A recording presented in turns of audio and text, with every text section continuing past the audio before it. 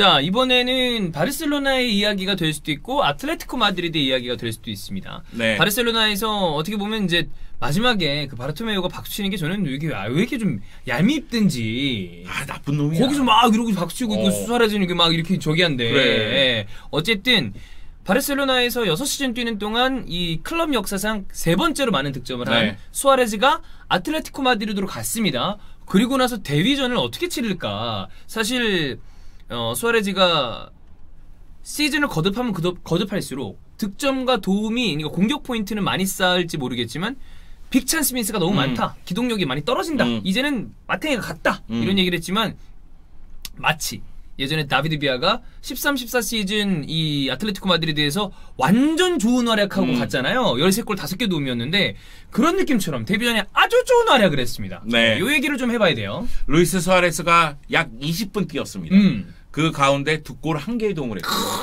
네, 네 차례 슈팅을 했는데 두 골이니까. 와. 물론 이제 패스 성공률은 좀 떨어지지만은 모험적인 패스도 많이 했고 움직임도 좋았고. 네. 그러다 보니까 야 드디어 아틀레티코 마드리드가 그렇게 원했었던 골 넣을 수 있는 선수. 네 number nine을 찾았구나. 네. 그라나다로 줬었어. 네. 네. 찾았습니다. 제가 보기에는 딱 맞아요. 음, 섣부른 거 아니에요? 아닙니다. 바로 찾은 건가요? 제가 루이스 수아레스 아틀레티코 마드리드 이적설 났을 때부터 네, 이거다. 이거다. 이거는 진짜 좋은 조합이다. 오. 2년 동안은 진짜 좋은 조합이 될 수 있다. 부상만 없다면. 네. 네. 만약 여기서 득점이 끊긴다면 영정 때문입니다. 제가 말실수라고 아, 네, 왔습니다. 네, 네, 네, 네, 네. 여하튼 그렇게 예상을 한다. 가능성이 아하. 높다. 어, 괜찮은 조합이다. 네, 괜찮은 조합이죠. 좋아요. 일단 그럼 이 경기 관련돼서 얘기를 해보자면 전체적으로 사실 아틀레티코 마드리드가 언제나 문제 되는 건 이제 공격 쪽인데 네. 이렇게 많은 골을 넣은 게 인천이 성남에게 6대 0이 된 이 경기가 네. 이번 주에 나왔잖아요. 맞아요. 이 골을 많이 안 넣, 아니 못 넣는 팀들이 이렇게 골을 많이 넣었어요. 음. 아 그런데 이제 성남은 전반 2분 만에 연재훈이 퇴장을 당했으니까. 그렇죠. 그렇기 때문에 그리고 이제 사실 아틀레티코 마드리드는 무고사가 없잖아요. 아, 네. 그런데 이제는 루이스 어, 수아레스가 수아레스가 있다. 있다. 어. 아. 물론 이 경기 선제골은 디에고 코스타가 기록했어요. 예. 네, 앙헬 코레아가 올려주고 디에고 코스타가 헤더로서 마무리 짓는 모습이 있는데 이 경기에서 아틀레티코 마드리드가 공격 쪽에서 힘을 발휘한 이유는 좌우 측면에서 힘을 발휘했습니다. 음. 그러니까 좌우 측면에 야니 카라스코, 앙헬 예. 코레아인데 카라스코보다는 왼쪽 측면 공격, 특히 half space 쪽으로 주앙, 펠릭스가 아우 얘는 네, 엄청난 활약을 펼쳤어요. 그리고 오른쪽엔 앙헬 코레아. 네. 그러다 보니까 전체적인 공격력이 힘을 발휘하는 모습이었어요. 오히려 전반전에 골이 많이 안 터진 게 이상했어요. 음. 사울리게스가 페널티킥을 놓치기도 했었거든요. 네. 그리고 후반전 들어서 후반 시작과 동시에 또 골이 터집니다. 어. 앙헬 코레아가 골을 넣는 모습이 나왔고 그리고 나서는 계속해서 이제 파괴력을 보여주는 음. 모습인데 일단 보통 아틀레티코 마드리드면 여기서 선수 교체가 71분쯤에 돌아가거든요. 그리고 나서는 골이 잘 안 나와요. 나오죠. 그러니까 많이 넣어도 한 3골 정도에서 멈출 수 있는 그 상황인데. 충분히 넣었다. 예. 근데 루이스 수아레스는 아니거든요. 음. 아니 기본적으로 패고 또 때리고 또 패고 이런 팀에 쭉 몸담았었던 선수 아니에요. 네. 그리고 루이스 수아레스는 바르셀로나에 오면서 바로 treble을 달성했어요. 그렇지. 그래서 바로 챔피언이었습니다. 맞아. 14, 15 시즌. 네. 그렇기 때문에 약간 그 다음 플레이들 보면은 아, 배부른 챔피언 아니야? 아. 이런 생각이 좀 들었고 너무 일찌감치 목표를 그냥 달성해 버린. 어, 거기다 이제 기동력이 좀 떨어지고 네, 있는 그렇죠. 상황에서 응. 공격의 기여도가 계속 떨어지고 있고 big chance를 놓치고 있고 그러다 보니까. 이제 비판을 들었거든요. 최근 들어서. 그런데 그렇게 부진했던 지난 시즌도 라리가에서 16골 넣었어요. 아 그러니까 많이 넣었어. 네.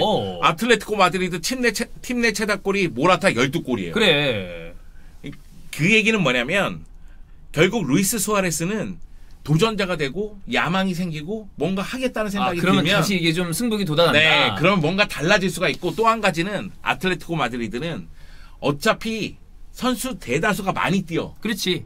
많이 뛰는 팀이죠. 네. 그런데 바르셀로나에서 루이스 수아레스가 뛸 때는 루이스 수아레스, 메시, 부스케츠 그러다 보니까 팀 기동력의 저하 그렇죠. 이거에 어. 대해서 루이스 수아레스 비판이 많이 굉장히. 많았거든요. 야 메시를 뺄 거야 그건 아니고. 네. 그런데 어차피 아틀레티코 마드리드는 나 빼고 10명이 많이 뛰어. 다 뛰니까. 하물며 수비가 잘 안 되는 나라는 야는 오블락도 활동량이 많아. 막. 이리 뛰고 예, 저리 뛰고 예, 그러면서. 어. 그렇기 때문에 루이스 수아레스에게 굉장히 잘 맞는 팀일 뿐더러 또 음. 한 가지는 아틀레티코 마드리드가 득점원이 다양한 팀은 아니에요. 그렇죠. 네. 물론 이 경기에서는 다양한 선수가 골을 넣었기 때문에 아, 맞아요. 이 얘기하기가 좀 부담스럽지만은 결국은 패스의 종착점은 루이스 수아레스. 그렇죠. 야, 너 골로, 음. 골로.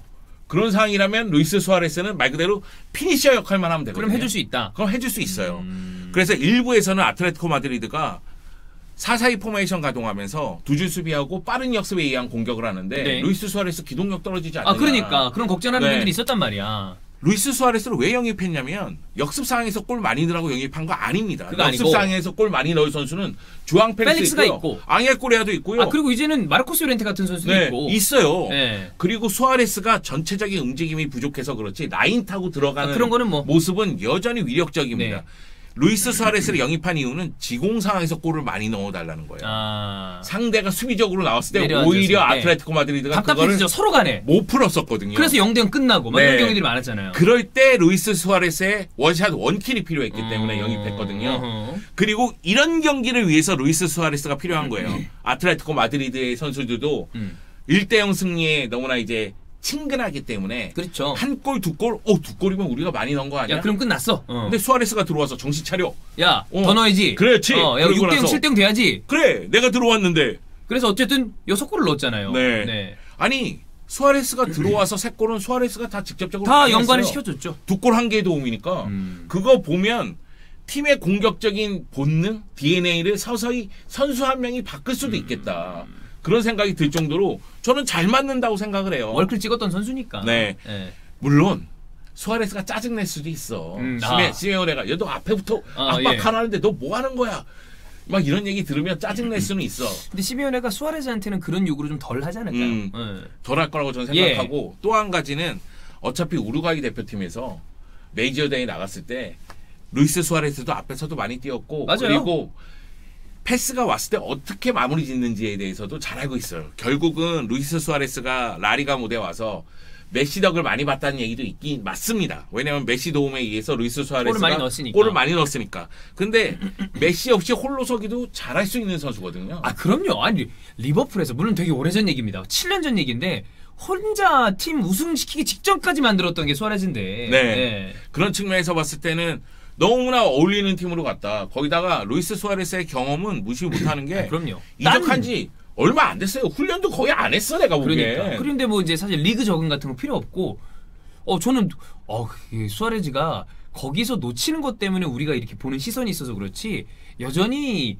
본인의 그 어떤 피니셔적인 기질을 가지고 있구나라는 생각이 이거 경기 보니까 바로 들더라고요. 음. 네. 그래서 저는 이 경기를 보면서 아틀레티코 마드리드를 좀 다시 봤어요. 왜냐면은 아틀레티코 마드리드의 공격력 특히 결정력 부족 이 부분에 대해서는 고질병이라는 생각이 있었거든요. 네. 그러니까 루이스 수아레스가 와서 제가 다른 방송에서도 그런 얘기했는데 지난 시즌보다는 더 많이 넣을 것이다. 아, 네. 그러니까 16골보다는 한 골 정도는 더 많지 않을까? 최소 한 골은 더, 어. 한 골이라도 더 넣을 것이다. 어, 그런 생각이 있었어요. 그런데 다른 선수들은 좀 부족하지 않을까 음. 생각이 있었는데 주앙 펠릭스가 지난 시즌 고생하면서 발전했어요. 그러니까 부상 아니었으면 사실 저 조금 더 빨리 완전히 안착을 했을 텐데 네. 근데 얘는 확실히 굉장히 비싼 돈을 주고 데려온 건 맞지만 재능은 재능인 것 음. 같아요.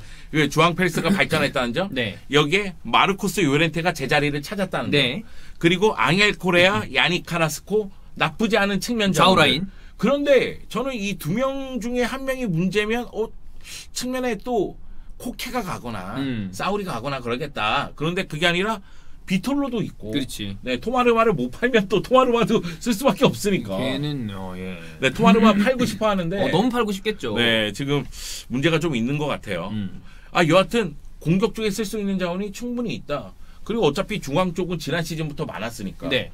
그리고 수비 쪽에 호세 히메네스가 또 부상이긴 하지만은 잠부상이 참 네, 많아. 워낙에 수비는 탄탄한 팀이니까. 그러니까 여기는 선수가 바뀌어도 그 전술과 수비적인 어떤 단단함이 흐트러지진 않잖아요. 음. 네. 기본적으로 아틀레티코 마드리드가 챔피언스 리그는 논외로 치더라도 챔피언스 리그는 저는 항상 논외로 생각합니다. 왜냐면 챔피언스 리그는 운이 많이 그 따라야 변수도 돼요. 많고 운도 음. 있어야 되고 대진운도 봐야 되고. 근데 라리가에서 아틀레티코 마드리드가 다시 한번 정상에 오르기 위해서는 약팀 사냥이에요. 그렇죠. 그게 안 됐잖아. 맨날 비기고. 네. 그러니까 거기서 승점 조금씩 까먹고. 결국은 약팀 사냥입니다. 그런데 그라나다 6대 1이에요. 그렇지. 그라나다가 약팀은 아니지만 예. 네. 근데 어쨌든 본인들보다는 아래 있는 팀이니까 음. 약팀 까부수고 라이벌전에서 무승부 이상만 거둬주면 네. 사실 그런 팀이 우승하거든요. 네. 아니 솔직히 얘기해서 레알 마드리드 무시하는 건 아니지만 네. 벤제마가 안 터지면 레알. 마드리드도 깝깝하지. 상황이에요. 깝깝해요. 그럼 결국 다 똑같은 거예요. 공격은 어찌 음. 보면 이쪽은 벤제마가 안 터져 안 터지면 문제고 아자르가 잘해줘야 되고 그렇지. 이쪽은 루이스 수아레스가 자- 잘해줘야 되고 그리고 펠릭스가 기대에 부응해야 되고 해줘야 되죠. 그리고 바르셀로나 같은 경우에도 결국은 안수파티 잘해줘야 되고 메시 다시 살아야 되고. 이런 얘기잖아요. 음. 그런 측면에서 봤을 때는 공격 쪽에서 먼저 터져준 쪽 그게 유리한데 바르셀로나, 아틀레티코 마드리드는 터졌다. 보여줬다. 어. 어, 그러면 아틀레티코 마드리드가 우승을 좀 넘볼 수 있는 그림도 그릴 수 있을까요? 네, 오. 저는 올 시즌이라고 생각합니다. 어 적기? 그러니까 적기란 표현은 안 돼. 적기 위험하다. 어. 아이씨, 백기 옹기라고 할까? 적기는 안 된다. 어. 어, 네, 여하튼 네. 그러니까 내가 생각하는 건 그거예요. 그러니까 뭐냐면 레알 마드리드, 바르셀로나, 아틀레티코 마드리드 이제는 거의 다 대등하게 기회가 있다고. 이제는, 봐요. 아, 그러니까 이번 뭐냐면 시즌엔. 지난 시즌 같은 경우에는 아틀레티코 마드리드는 어렵다는 생각이 저는 지배적이었어요. 코로나 중단 다시 재개되는 거 아니었으면 챔스 못 땄을 수도 있다고 봅니다. 네. 음. 어, 무엇보다도 에이스가 바뀌었으니까. 맞아요. 근데 새로운 에이스가 라리가 경험도 없고 너무 어린 선수였으니까 그 문제점이 또 드러났기 때문에 주앙 펠릭스가 지난 시즌에 고생한 거 아니겠어요? 예. 근데 지금은 다 기회라고 생각해요. 음. 근데 레알 마드리드가 과연 그 수비력을 계속 유지하면서 음. 벤제마 외에 제2의 득점원이, 득점원이. 나오느냐 바르셀로나는 기동력을 계속 유지하면서 터져줄 수 있느냐 음. 아틀레티코 마드리드는 루이스 수아레스의 힘을 바탕으로 약팀 사냥을 제대로 할수할 있느냐 것이냐. 요거에 따라서 이제 우승이 달라질. 텐데 네. 아틀레티코 마드리드에게는 기회다 결국은 레알 공격 보강 못했지 그렇지. 바르셀로나 리빌딩 중이지 중이고. 그러면은 아틀레티코 마드리드 입장에서는 일단 보여줬으니까. 네 지금 상황에서 후려쳐야지 지금 가 지금이 진짜 타이밍이죠. 어, 지금 달려 나가야 됩니다. 아 그렇습니다. 자 영주 형이 바르셀로나의 어떤 어, 호평 그리고 아틀레티코 마드리드 우승 가능하다고 얘기했습니다. 네. 이번 시즌 레알 마드리드가 우승한다면 어, 이것은 영주 형의 어떤 시즌 초의 예상 때문이 아닌가. 네. 네. 다시 한번 말씀드리지만 세 팀 모두 가능하다. 가능하다. 예. 네. 뻔한 얘기를 아 그렇습니다. 네. 어쨌든 수아레즈 아틀레티코 마드리드 활약은 수아레즈 팬들 입장에서 반가울 거고 음. 바르셀로나 팬들도 사실 보내는 입장에서 되게 못해줘가지고 막 비판도 하고 너 왜 이렇게 뭐 안 뛰냐 얘 나가야 된다 그랬다가 마지막 모습을 보고 되게 좀 짠했잖아요. 아무리 그래도 그렇지 아무리 마지막에 날려먹어도 어떻게 수아레즈를 이런 식으로 보내냐라고 음. 그랬는데 이 모습을 보고서는 좀 즐거워하지 않을까 그래도 아 저는 루이스 수아레스가 떠날 타이밍이라는 건 맞아요. 맞다고 그건 생각해요. 맞아. 근데 이제 루이스 수아레스는 바르셀로나에 대한 애정이 굉장히 있죠. 깊었고 웬만하면 남고 싶었던 거라고 저는 생각을 해요. 음. 근데 그 과정에서 바르셀로나의 태도, 맞아. 자세 이게 너무 문제였기 비판을 때문에 많이 받았죠. 근데 이게 약간 좀 우스운 얘기지만 루이스 수아레스는 축구 팬들에게 은근히 밉상이야. 그래 물고, 물고 막, 막. 막 다이빙하고 어, 이런 거 어. 있으니까 손으로 이거 하고 막 어, 어, 예. 거기다 이제 리버 팬- 리버풀 팬들에게도 좀 나갔을 때 어, 그런 것도 그- 그렇고 있고. 그러니까 바르셀로나 팬들도 얘는 왜 빅찬스를 이렇게 날려 이래서 음. 약간 밉상이긴 한데 이번 이적으로 밉상 이미지가 좀 많이 되게 씻어져 네. 나갔어요. 어 얘가 피해자였구나. 어, 안 됐다. 이렇게 그래도 어. 많이 해준 선수를 이런 식으로 대우하나? 어. 이게 좀 있지. 이 얘기는 뭐냐면 바르셀로나의 바르토메오가 최악의 상대라는 거지. 최악이죠. 어. 어, 그 비판받았던 사람을 모두 다 그래도 선녀 이렇게 그러니까. 보이게 만드는 효과를 밉상을 선녀로 만들어줬으니까. 아, 그렇습니다. 서, 수아레즈가 어떤 이번 시즌을 좀 보내게 될지도 기대가 되기 때문에 네. 예, 그거 어, 저는 좀 쫓아가 봐야죠. 부상만 없으면 좋겠어. 어, 부상 없으면 아틀레티코 마드리드도 buff 받죠. 네. 그렇습니다.